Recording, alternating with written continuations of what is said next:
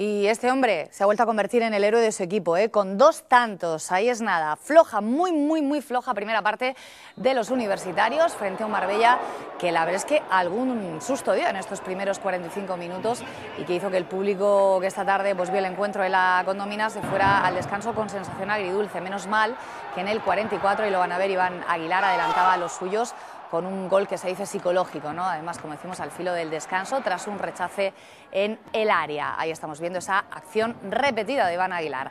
En la segunda, los de Salmerón sabían que tenían que rematar la jugada y lo hicieron al poco de reiniciarse el choque, concretamente a los seis minutos. Saque de esquina, lo han visto votado con, bueno, pues con gran maestría por Góngora, que vuelve a rematar perfecto Iván Aguilar para poner el definitivo 2-0 y sobre todo, y lo más importante para los de Salmerón, afianzarse en esa segunda posición. Thank you.